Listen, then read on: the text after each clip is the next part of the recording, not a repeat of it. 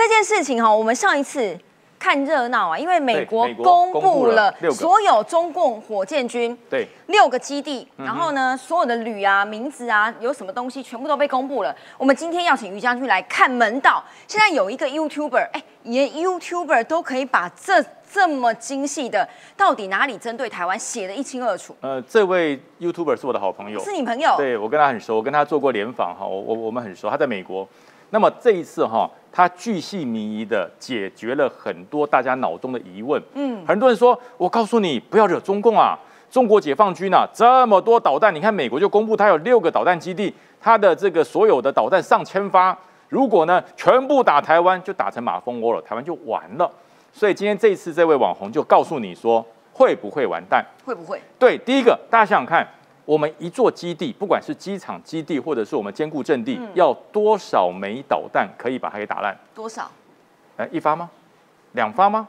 三发吗？五发？告诉你，八十发。哦，八十发这么精准？一个重大的一个机机场，或者重大的港口，或者重大的一个呃指挥所，嗯你要八十发才能够把它摧毁。它所谓的导弹是指这些吗？对巡航导弹啊，东风啊，也要八十发。是他们上千发的导弹哈，事实上能够打台湾的大概一千两百发。哦，其他的，呃，你打到一万多公里的打台湾吗？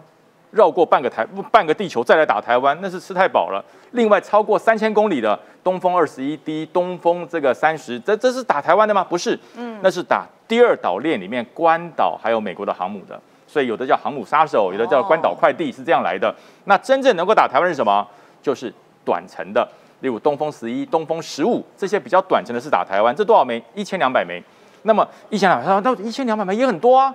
如果一千两百枚一次发射到台湾，台湾不就完了？嗯没有办法发射一千两百枚，为什么？因为没有那么多发射架。哦，你那个飞弹不是摆那个地方，它就自己可以发射，它要有发射架。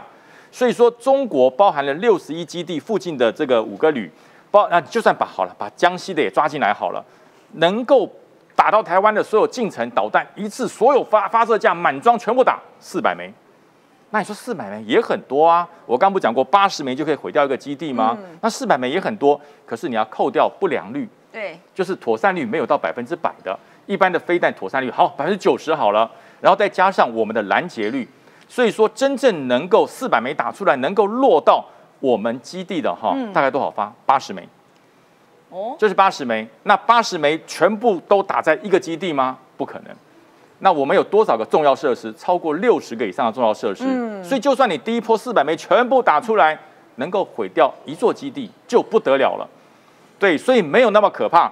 所以这个导弹的短程旅啊，近短程的飞弹，包含了常见，全部加起来七嗯个，全部对准台湾的这些导弹飞弹旅，全部最大能量就是四百枚。所以这个火箭军，中共的火箭军就是说的一口好导弹，而且我们用熊二就可以源头打击，意思是说我们用熊二就可以把这几个通通炸烂吗？对，就是这次这个网红就直接打破了所谓导弹万箭打台的一个传说，万弹打台的一个传说，就是一次把台湾的所有基地全部瘫痪。我第一波打下来，台湾所有基地都瘫痪了。这是这个哦 YouTuber 就告诉你，那是假消息。最多八十枚落地，能够破坏掉一个基地就已经很精准喽。对，然后呢，我们会在它第一波打完之后，我们马上就会源头打击。嗯，相对的，你的这些近程导弹，我们也会至少摧毁你这么多。你能摧毁我多少，我就摧毁你多少。嗯所以说，如果第二波还能打四百枚吗？没有了，就减半了，就是这个意思。